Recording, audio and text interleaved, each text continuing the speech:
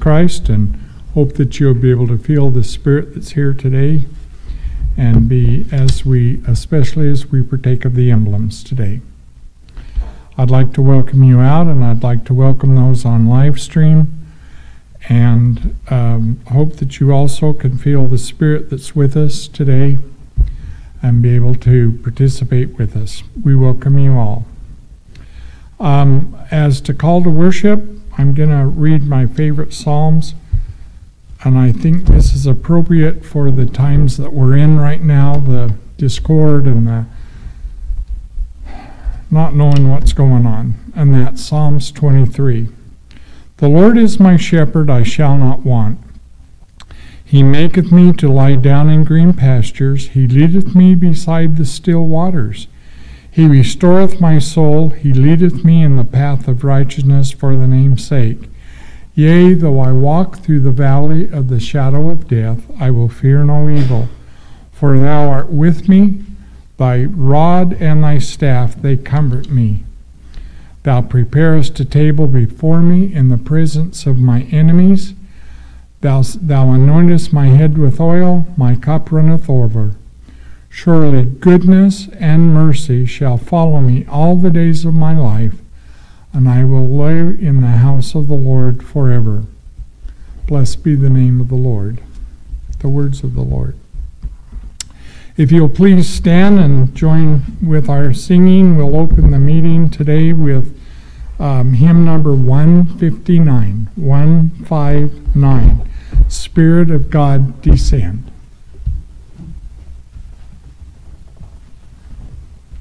Please stand.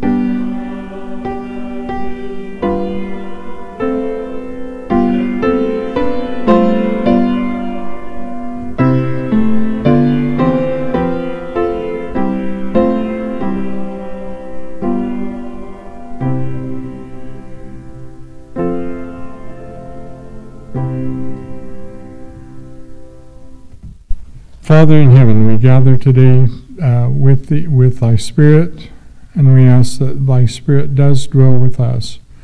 We give thee thanks for the opportunity that we have to meet together and to be able to fellowship one with another to worship thee. We're thankful for everything thou hast bestowed upon us, this weather that we've been having, and and all the many blessings that are bestowed upon us. Again, Father, we thank Thee for everything that we have. We ask Thy Spirit to be with us. In Jesus' holy name, amen.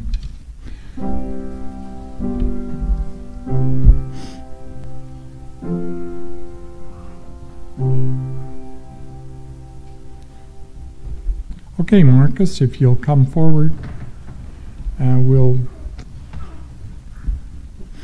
have the prayer over the offer offerings, and then we'll proceed from there.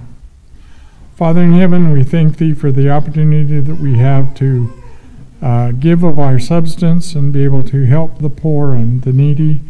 We pray that thy Spirit will be with us and help us to help to make sure that these funds go to the way they are. We're thankful for everything thou hast given to us. In Jesus' holy name, amen thank you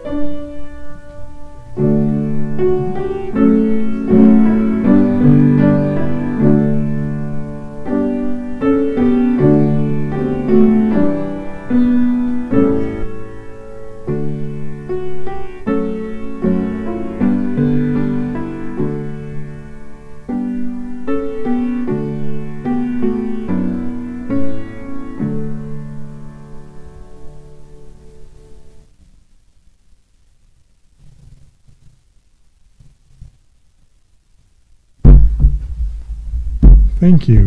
Now let us open our hymnals to hymn number 103, Fairest Lord Jesus, 103, and you can remain seated.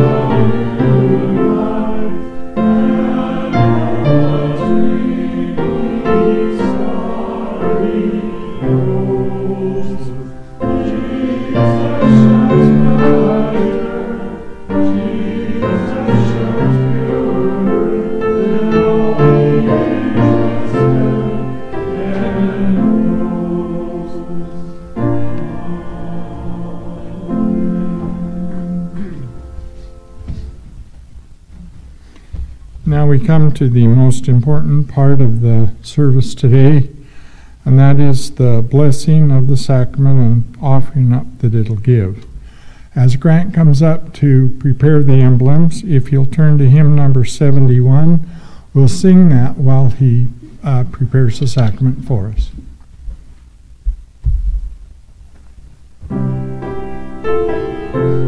the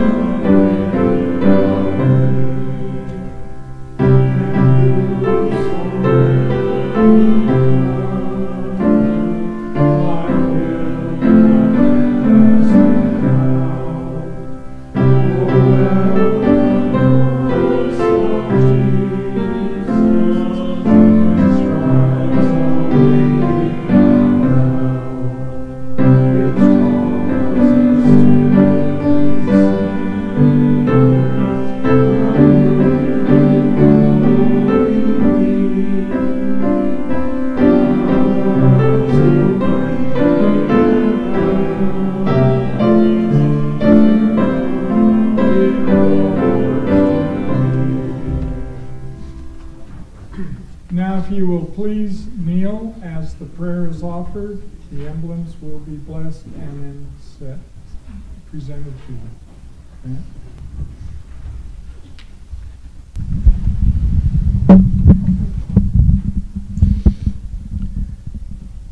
O God, the eternal Father, we ask thee in the name of thy Son, Jesus Christ, to bless and sanctify this bread to the souls of all those who partake of it, that they may eat in remembrance of the body of thy Son, which was witness unto thee, O God, the eternal Father, that they are willing to take upon them the name of thy Son, and always remember him, and keep his commandments which he has given them, that they may always have his Spirit to be with them.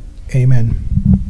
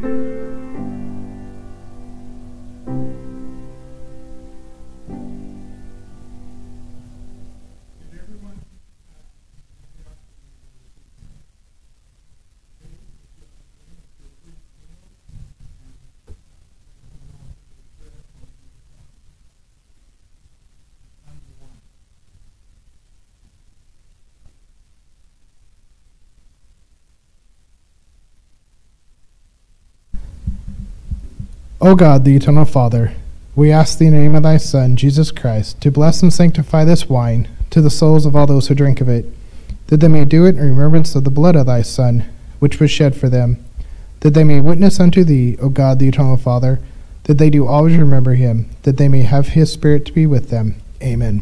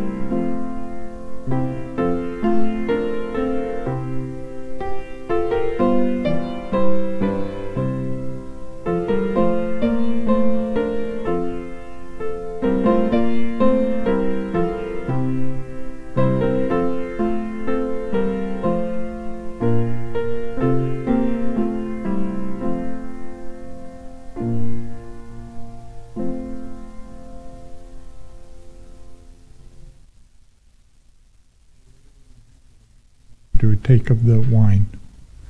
Sorry about that earlier slip up. The it just pops in there.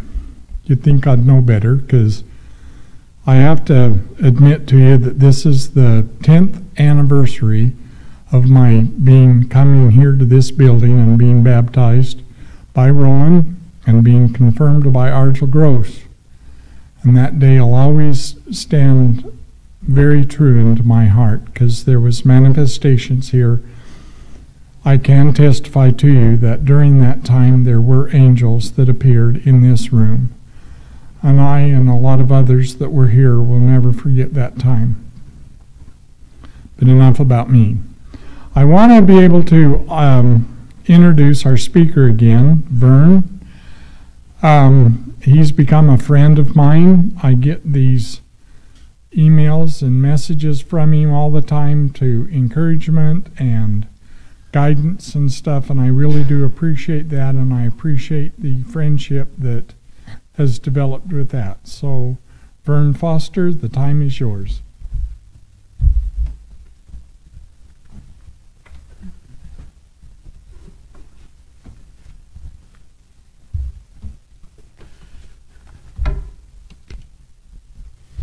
Good morning, everybody. It's wonderful to be in the light.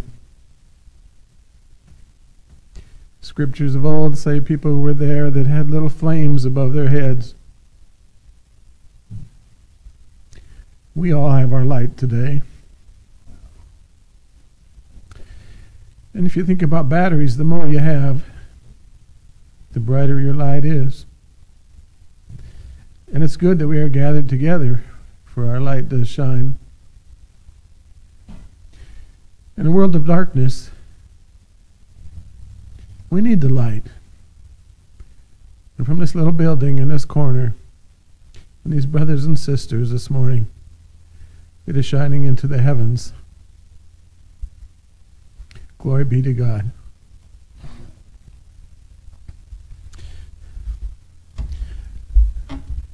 I'm thrilled and happy to see Lehman and Terry Johnson here this morning. I was going to say uh, Lehman was is my mentor, but then I was thinking Terry is just as much my mentor, maybe more than Lehman. And it's great to see you. Thank you for coming out. I'd like to start out with a with a scripture this morning.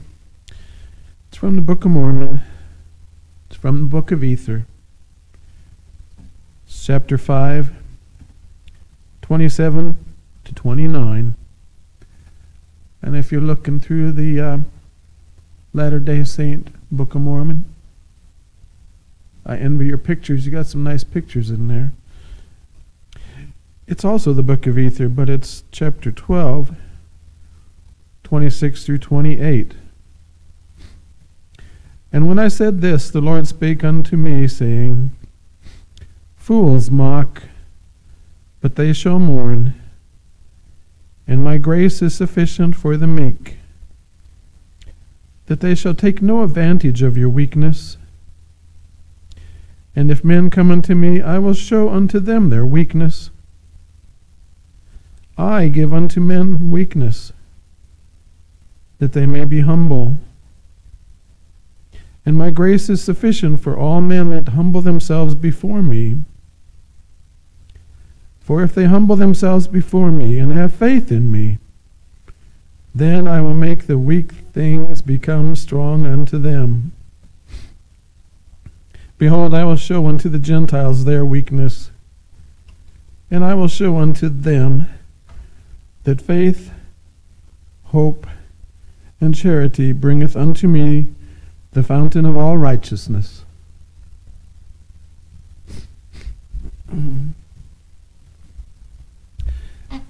Many years ago, I was driving through Raytown, and I don't remember why or what my activities were at the time, but there was a sign off to the road. And I read it. And it said, Come on back. I ain't mad at nobody. And that has stuck in my head all these years. And it was in front of a tavern. But you think about it, there's a war going on there. There's two angles to that. Satan would say, Come on back. All your friends are here. He'd say, Come on back. We can have some more good times. You could say, Let's play a game. Pick a card. Ace of Spades. Pick another card. Ace of Spades. Pick another card. Ace of Spades. He's the destroyer. The sign is enticing people to come on back. Come on back. And I guess that's been rolling around in my head until the point that I heard the Lord say, You need to go tell people to come on back.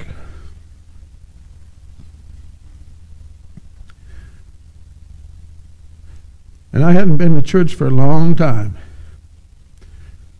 The Lord had told me what I should do. And that's after that's to look after the business in my own house. And I did that to the best of my ability.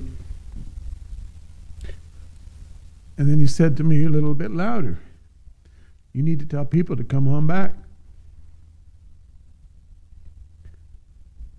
And he wouldn't let me go.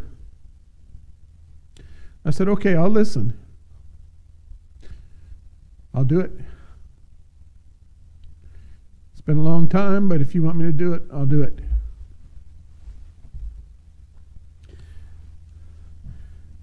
I promised myself I wouldn't do this. But the Spirit is upon me.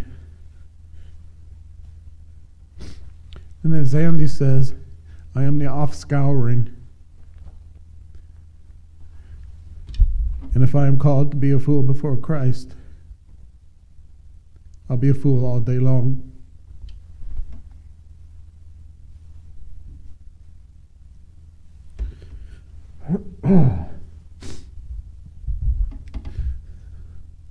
so I'm I'm here to say we all need to come on back because where there's more people, there's more power.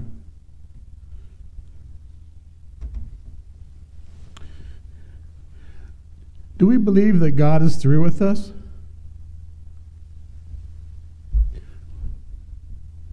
I'm head shaking. Nope. Let us rejoice. Satan stands as our accuser before God. He wants us to think it is over. We are lost. There is no hope. No one cares. There is no forgiveness. Why are you going on? This is not easy, brothers and sisters.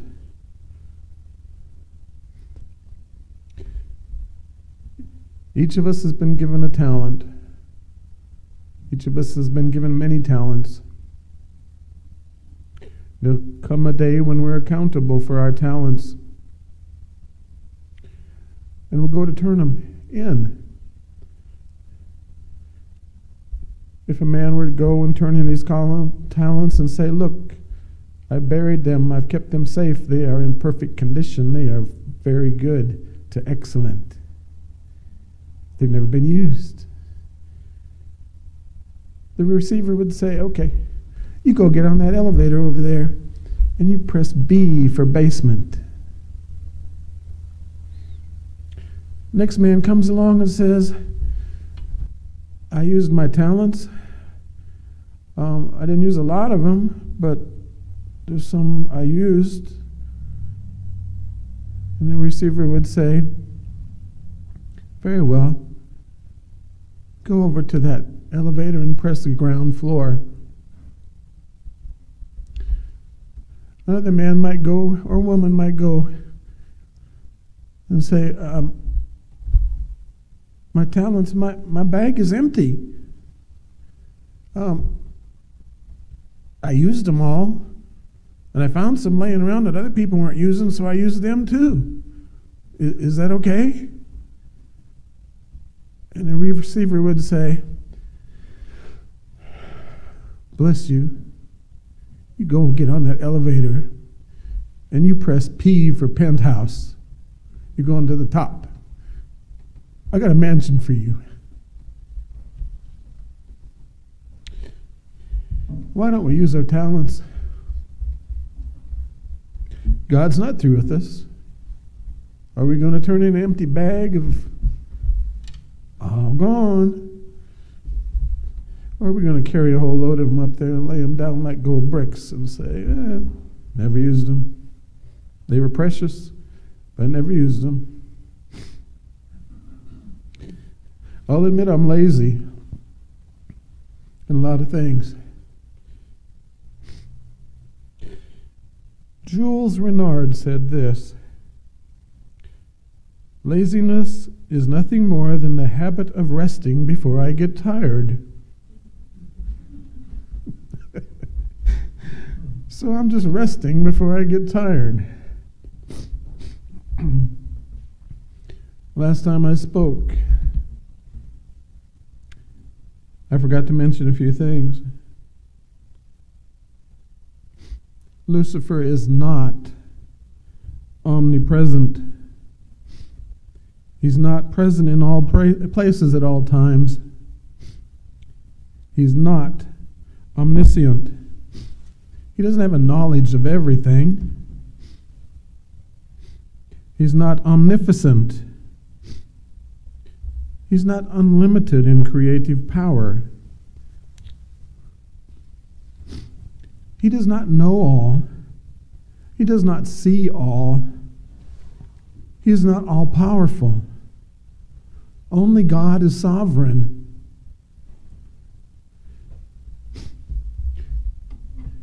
We're all behind enemy lines.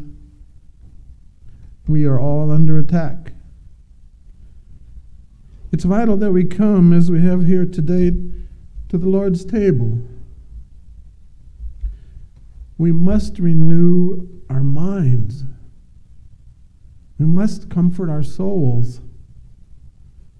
We must renew our portion of the Holy Spirit. We must drive the darkness from our lives.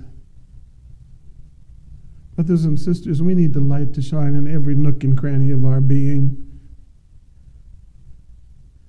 Because if there's a little dark spot and spirits around you see it, they see that chink in your armor, something you had hidden. No one in this world can see it, but the uh, powers that be can see it. They say, right there, we can get to them. Right there's a spot. We can stick that dagger right in there. And that's the way evil works. We need to clean out the corners of our souls. We need to brush the cobwebs out of there, the spider webs, and we need to let the light of the Holy Spirit fill it. Then we'll be we have the endowment. For we will be filled with righteousness. And the only way to achieve that is through the power of prayer. The prayers of many avail much.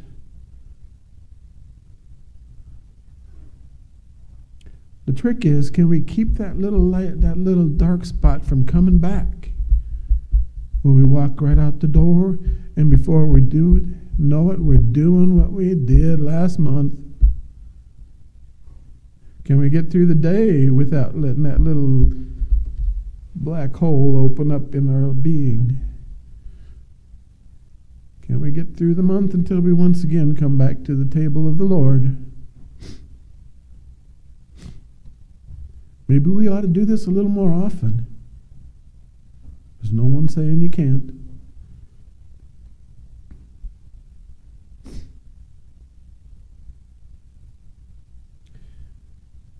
The fact is, we're all miracles here. Has anyone ever had a close call? Ha! You're on my page. Have you ever come close to being severely injured? Have you ever had a close brush with death? If you have, raise your hand, testify. Glory to God. Glory to God. We are all miracles. We are all at risk constantly. If we live, it's God's will. If we die, it's God's will. We are His. We made a covenant. As a child, how many learned a little prayer as your mother or father put you to bed at night? Were you told you had a guardian angel? Believe it.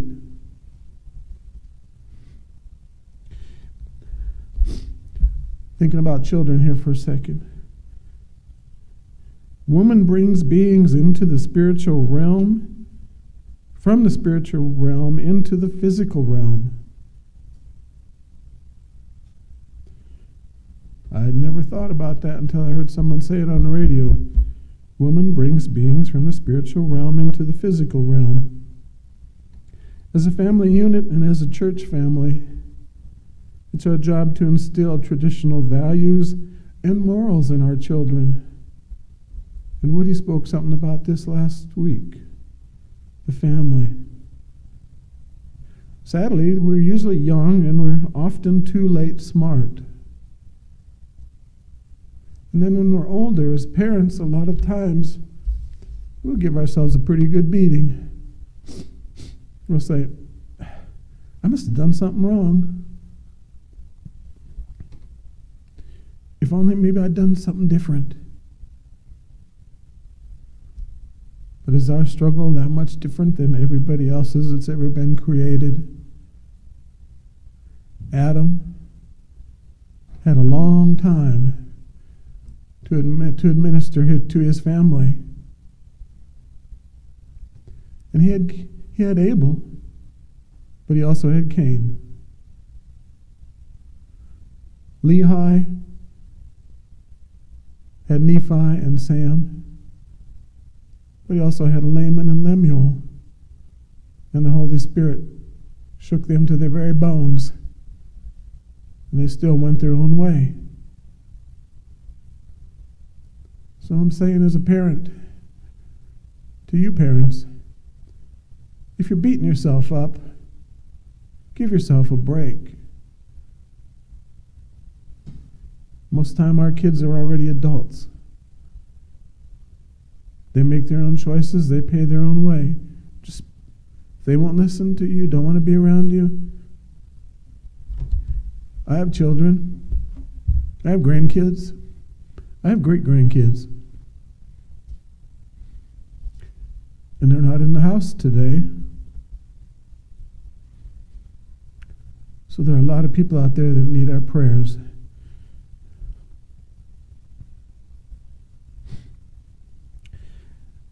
Lucifer wants to destroy God's children. Monday, I looked at worldometers.info. I saw there were 6,950,000 abortions already this year. And the number is still going up. I've seen the elderly in nursing homes neglect, neglected with a virus, given morphine to keep them comfortable, pushed off in a back room, not able to see their families, their loved ones.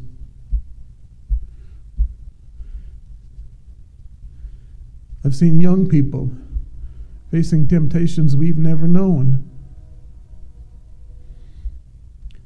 You have too many young people that are driving by, 14, 15 years, 16 years old, in stolen cars, shooting at other children, killing six, seven, eight year old, nine year old kids.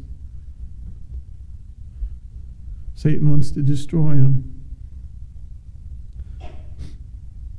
Who chooses who gets to live in this world? I will never insult God by calling him the great physician.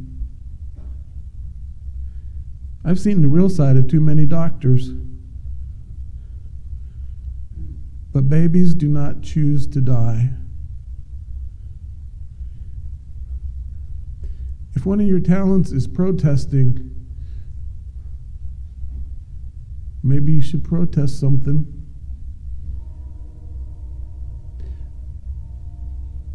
I'm not ashamed to get out on the corner with a billboard and a giant syringe I made over my shoulder in a fluorescent vest.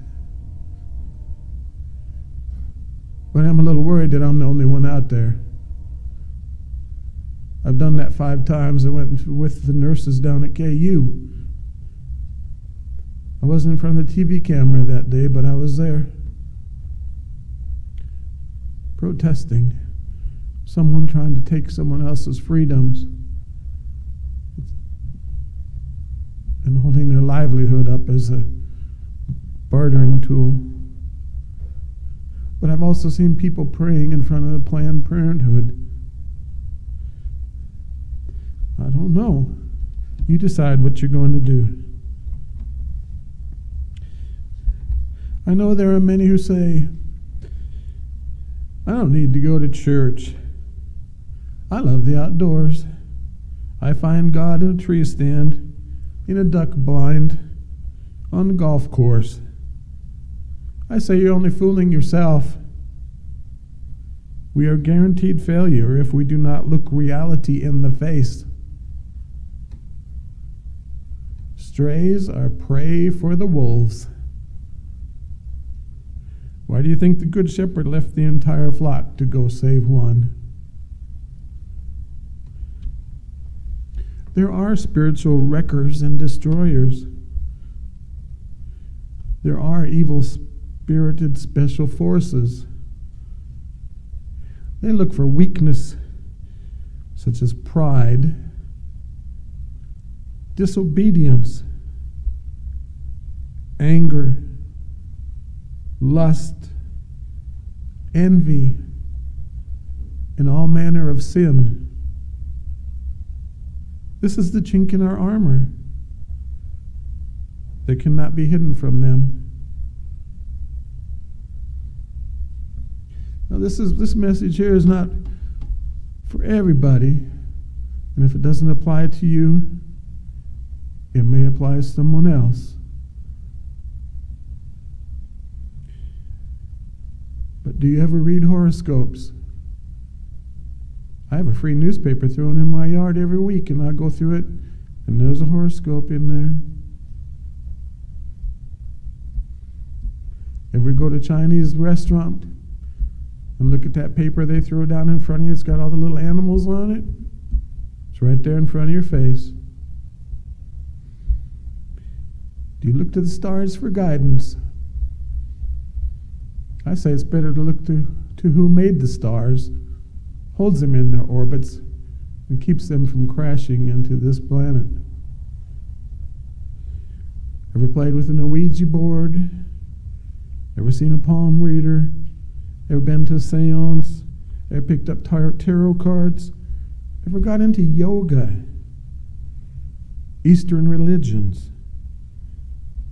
spinning a prayer wheel. You can spin a prayer wheel all day long, but I don't think that'll get you to our Lord and Savior. Ever ring a bell in front of a temple, thinking ah, that's it's just play, but I'll leave a little offering, of money, food, maybe flowers to a god of stone, metal, or wood. Ever tried to acquire the power of chi as you studied martial arts? Ever tried to meditate and remote view someone?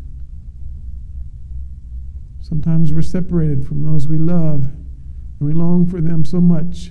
We try to see them.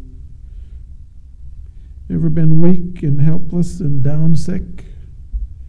Ever been high or drunk? over medicated? Are you prone to fits of rage or anger? This message is for someone. And I tell them, beware. You left yourself open for evil spirits. thing about evil spirits is if you get one on you, you might be able to get it off of you through prayer, through administration.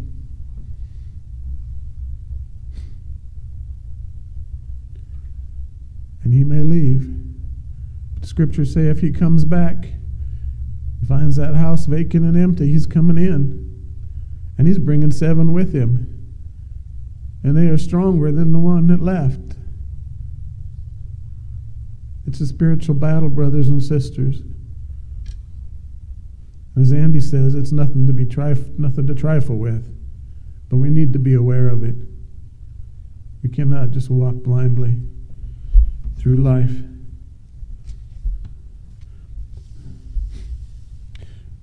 This is from section 17, 6b through E. And we know that justification through the grace of our Lord and Savior Jesus Christ is just and true. And we know also that sanctification through the grace of our Lord and Savior Jesus Christ is just and true. To all those who love and serve God with all their mights, minds, and strength, but there is a possibility that man may fall from grace and depart from the living God. Therefore, let the church take heed and pray always, lest they fall into temptations. Yea, and even let those who are sanctified take heed also.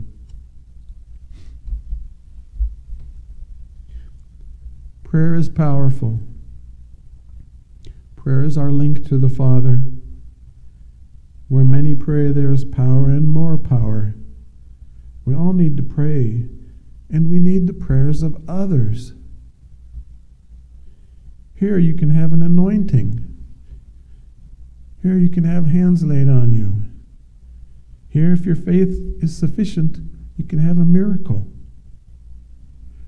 There is stronger faith in a group. We all need help. There is protection. There is hope. There is faith. There is healing. There is love and salvation. The church is the body of Christ. We need you here. And you need to be here. There's people out there looking and the Spirit has told them, you need to move, you need to move, you need to get out of there. That's a bad place to be. And they don't know where they should go. But they know that they need to bug out. They got bags with stuff in it so they can bug out. They need guidance and direction. They need to be sought out and found. They need to be saying, we need to be saying, up. Just go that way. Just head on that way. Let the Lord lead you. Let the Holy Spirit guide you. You will surely find your way. But come on. Come on. We need more power. We need the light. We need what you can bring. We need builders. We need carpenters. We need electricians. We need teachers. We need doctors. We need nurses. We need everybody because we're building a kingdom here. And we're going to look up. And Lord's going to look down. And Marcus explained the Star of David to me one time. It's two triangles. One is pointing down, one is pointing up. When they meet each other in the sky, you got the star. We want to be in the star.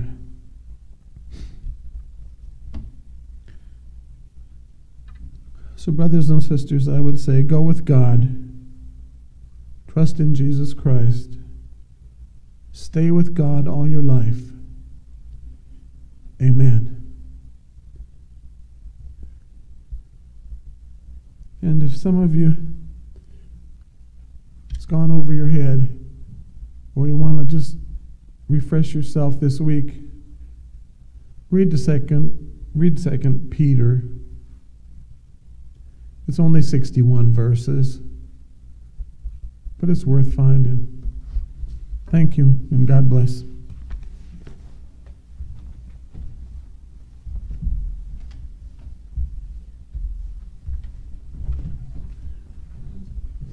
Thank you for those words. Um, you didn't disappoint. If you'll please turn your hymnals to hymn number 225 the church is one foundation. And then Grant Heap will give us the closing prayer. 225. Please stand.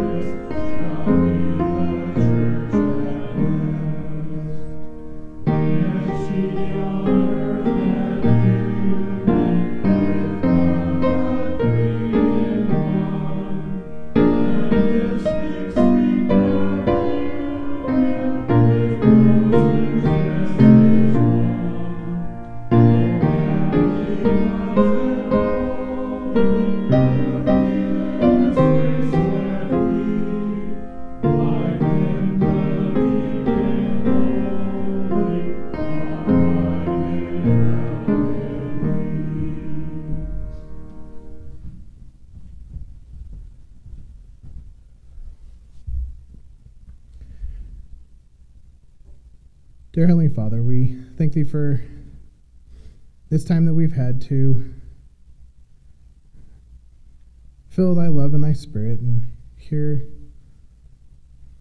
the spoken words. And we ask Thee to please continue to watch over us, that we able to travel in safety and that we're able to continue to carry thy spirit with us. And we say these things in the name of Jesus Christ. Amen.